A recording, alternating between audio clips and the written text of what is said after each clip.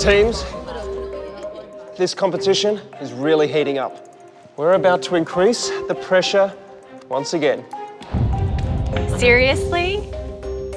Brace yourself for the open houses. Where is the open houses?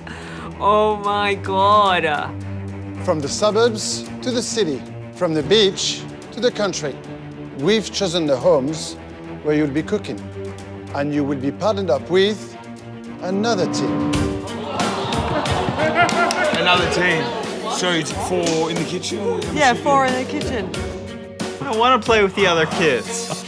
I barely can work with Pat. Yes. Throw two other people to the mix. I'd rather die. You will be coming together to serve a three-course meal to Pete and I, And?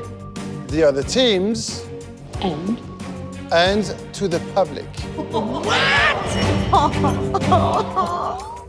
Head is spinning. I'm trying to fathom what could be happening here. Four of us in a kitchen. We're cooking for all the guest teams and members of the public. Yep. And at the end of the round, if your open house has the lowest score, you'll find yourselves back here, cooking against the team you just cooked with. Holy moly, Peter! Wow.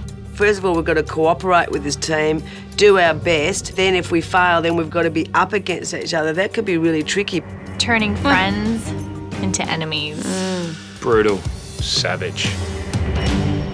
Cooking in the first open house are Vivian Ramel and Anyone but Josh and Austin.